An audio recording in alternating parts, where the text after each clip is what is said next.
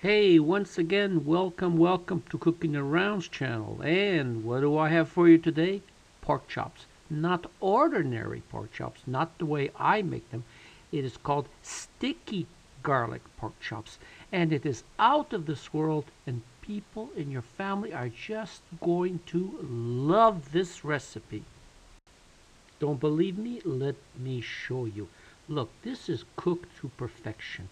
The sauce is absolutely great and you can cut it just like butter. Now just take a look inside. Nice and moist inside. Let me show you how to put this together.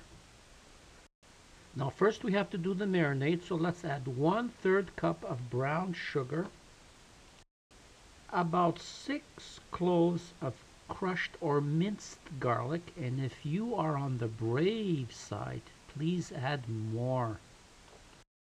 And to give it a bit of a tang, one quarter cup of rice vinegar. Now here comes the flavor. Two tablespoons of fish sauce or oyster sauce. About one tablespoon of ketchup, or you could add a bit more. About one tablespoon of low sodium soy sauce and a dash or two of ground black pepper. And here it comes, the good stuff. Two teaspoons or more of your favorite hot sauce. And here I'm using a piri piri hot sauce. Now, let's blend this in really, really good because I want the garlic to blend in and let out its oils. And now, when it's basically done like this, I want you to take your pork chops. I want you to put them inside like this, roll them around, roll them around. Uh, this is a small dish, but if you're making more, of course, you would have a bigger dish. And now I want you to cover it, and I want you to put it in the refrigerator for at least minimum one hour. Me here, I'm leaving it for about two hours. That's up to you. Grab yourself your favorite fry pan and put in about, you know, a little bit of oil. I'm putting a little bit extra here because I don't want it to stick. Now wait for the temperature to come up and I have it on medium high.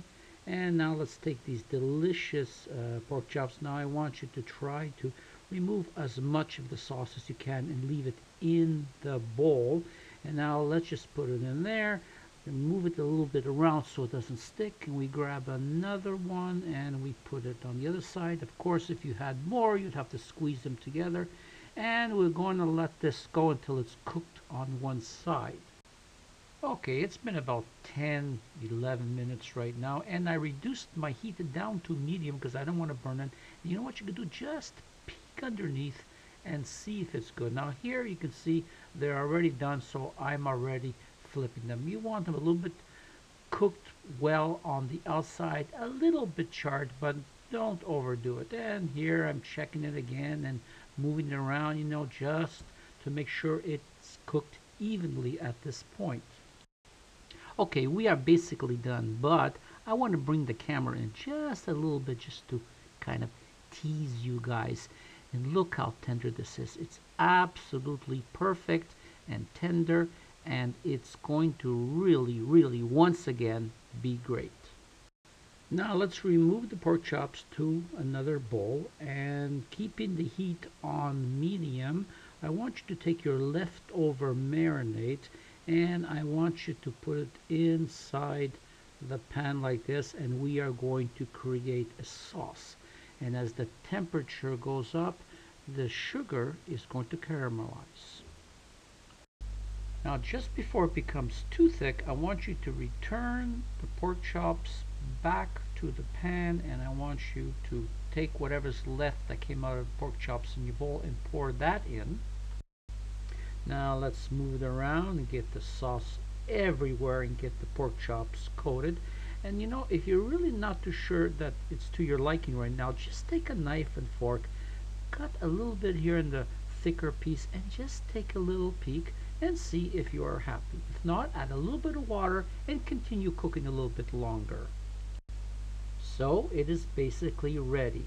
Now I know that your family and your friends are going to love you for this. Please serve this while this is hot. So once again, we come to the end of another video. I hope you enjoyed it. I hope you will try it. And all I can say now, once again, is goodbye from Tony and Cooking Around and see you on my next video. Goodbye now.